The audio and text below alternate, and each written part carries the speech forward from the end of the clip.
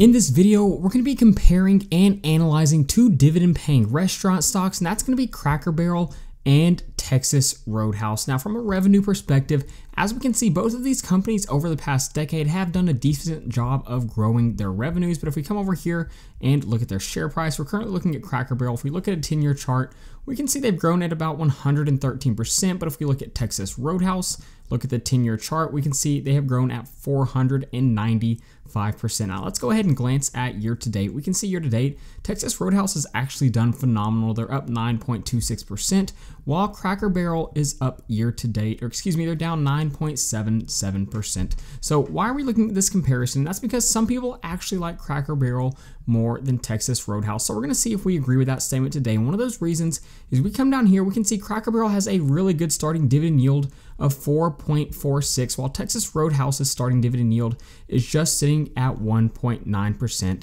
So let's go ahead and jump into my stock analysis spreadsheets, and we will find the intrinsic value of both Cracker Barrel and Texas Roadhouse. So like always, we'll come up here and we're going to plug in the stock ticker for Cracker Barrel C BRL and you can see all of this data is going to automatically load in. Like always, if you'd like to be able to download any of my spreadsheets, then you can head over to my Patreon page at the link in the description. But we're going to be looking at four different valuation models, Graham's valuation, a discounted cash flow, a multiples valuation, and a dividend discount model. So let's go ahead and open another spreadsheet and we'll go ahead and plug in Texas Roadhouse's stock ticker as well, TXRH. Now we've already noted a few different things. We noted the dividend yield a lot lower for Texas Roadhouse as we can see, but the payout ratio is just sitting at 23.9%. Where if we come back over to Cracker Barrel, we can see, obviously, like I mentioned, really good starting dividend yield at 4.38%, but that payout ratio is starting to get dangerously high at 91.4%. Now, obviously, they both have a similar industry. The beta for Cracker Barrel is about 1.38, so you will see a little bit of volatility.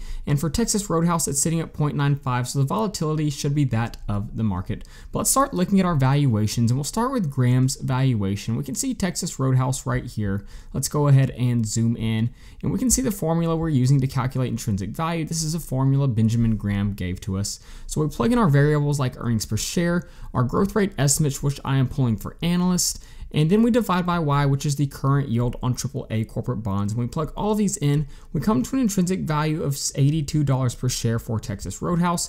And when we do the same for Cracker Barrel, let's go ahead and jump over to Graham's valuation and zoom in. You can see we come to an intrinsic value of $90 per share. So the intrinsic value slightly higher for Cracker Barrel, but look where it's currently trading at.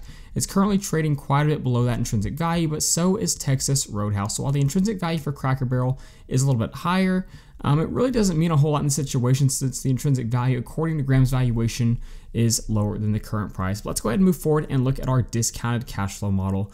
And the discounted cash flow model is one of the places that Texas Roadhouse really impressed me. We plugged in the historical free cash flow as you can see right here, so we can see our year over year growth estimates. Now, it did obviously slow down a little bit in 2019 and 2020, but we can see we've seen a huge jump up in 2021. The average growth rate over the past few years is about 36%. So moving forward, I'm staying in line with analyst expectations of about 16% free cash flow growth. That is very fast, but I projected that to the future free cash flows of the company and found the present value of those future free cash flows, added them together, added Texas Roadhouse's cash and cash equivalents, and subtracted out their total debt to get their equity value.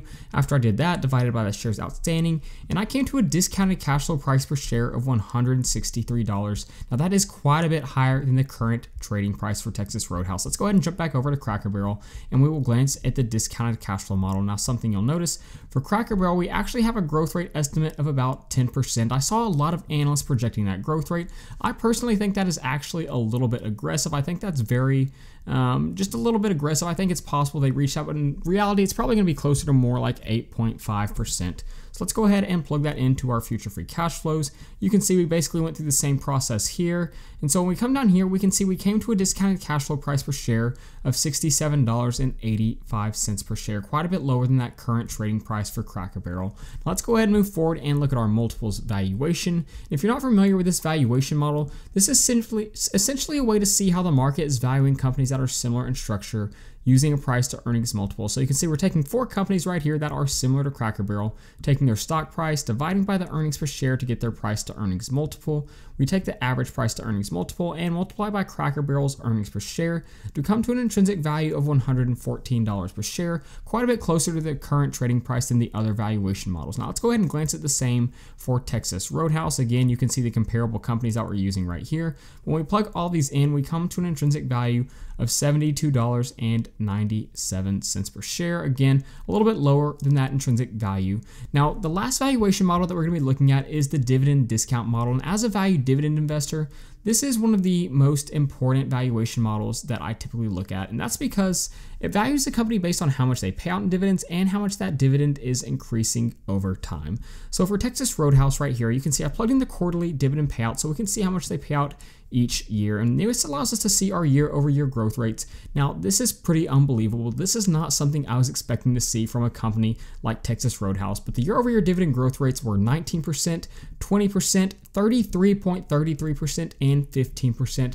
That is unbelievable dividend growth. This is the type of dividend growth that allows dividend growth investors to receive really high dividend yields on cost over time. We can see that's an average growth rate of 21.85%. So moving forward, I'm projecting a growth rate of about 7.25% for the dividends for this company and a discount rate of 8.5%, which gives them a dividend discount model price per share of $157. Now let's go ahead and jump over and do the same for Cracker Barrel as we can see right here. We'll jump to the dividend discount model.